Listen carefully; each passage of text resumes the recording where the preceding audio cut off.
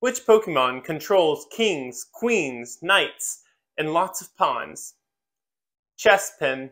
Bike Chain Starters, Episode 18, Chespin. What's going on? I'm PokeWelder Zach, and today we're making Chespin out of bike chains. Before we get started, when this video hits 1,000 likes, I'll be doing a giveaway to one person from the comment section below. So, what do you think about the intro joke? Do you have a better one, or do you just like Chespin? While you're down there, make sure to like and subscribe. It helps out the channel a whole lot. So, with all that, let's get on to the build. Let's see if we can get ourselves a bike chain checkmate. I don't know what that means, but we're to find out. So, starting with uh, the layout of Chespin, uh, we use a series of four, six, um, a bunch of eights, another four for the head and the hat, uh, and then some sixes and a three for the body, and then some single links and flat links for the arms and extra details. So to start out for the head, we're going to be using two square four links, which will be the top and the bottom of the head, two sixes, which will make up the um, sort of sandwiching layers, and then uh, three eights, which are going to make up the middle portion of the head. This is significantly different than the original design I did, uh, where I tried to do the cap and the head separate, and it just straight up did not work out very well. Um, as you can see here, uh, the original design and the new design, and the new design is significantly better. All right, so now to uh, stack them and tack them, uh, we pretty much just add a quick tack on each side as we build the head up, stacking the uh, sort of descending link sizes. So you can see the head here. Uh, now we're going to use those flat links to add the details onto the head. Uh, he's got these little like sticks or leaves or twigs. They're, I don't know what they are, but they're coming off his hat, which I'm not sure what that is either. Maybe it's a hood. I think it's more of a hood. Um, but we're going to add those flat links on and then cut the bottom ones down just because they are a little bit smaller in the design as well. So once the, we're just taking the angle grinder, grinding them down just a little bit to give them some, uh, some differentiation from the top parts.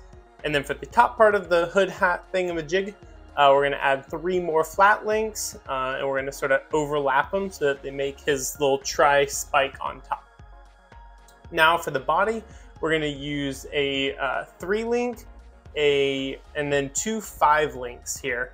Um, and these are sort of a weird uh, link size. I don't use them too much.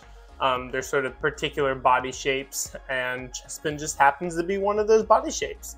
Um, so we're going to add the three on one side and then the five on the other, uh, which will end up giving him sort of a belly and then the back of the hood.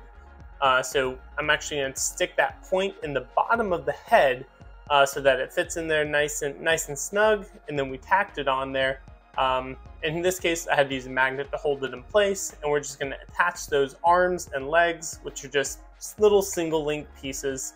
Uh, also, again, the arms are the same, but the legs are uh, a little bit different. I ended up turning them from the original design.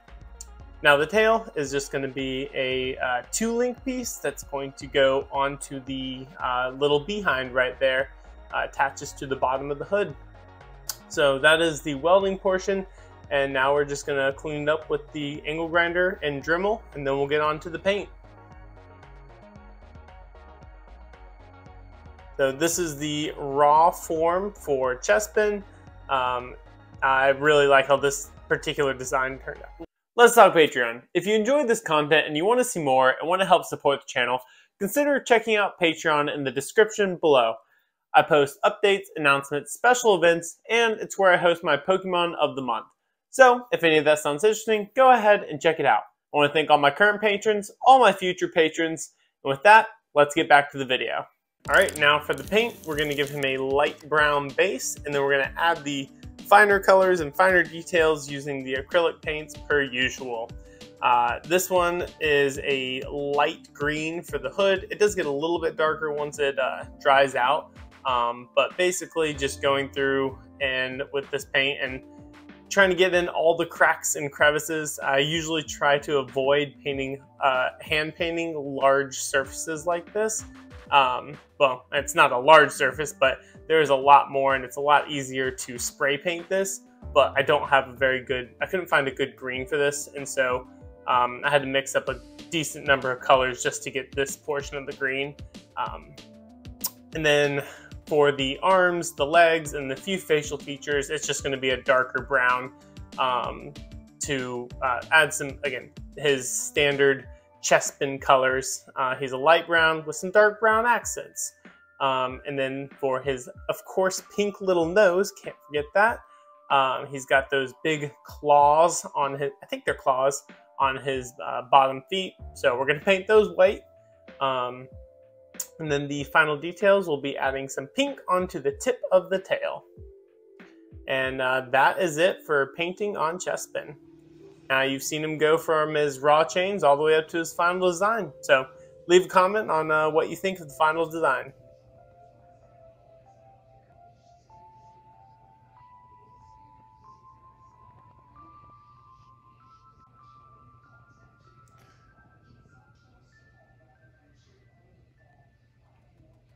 Thanks for sticking around to the end. Hope you enjoyed the video and watching Chespin come to life. Again, when the video hits 1,000 likes, I'll be doing a giveaway to one person from the comment section below. So, what did you think about the video? What would you like to see more of? And what Pokemon would you like to see in the future? Next week, we'll be doing a video for the Pokemon of the Month. So, if you want to have an influence on that, go ahead, check out the description below. I host voting over on my Patreon. After that, we'll be back on schedule with the Pokemon Starter Series. So until then, sign off with a Totodile smile.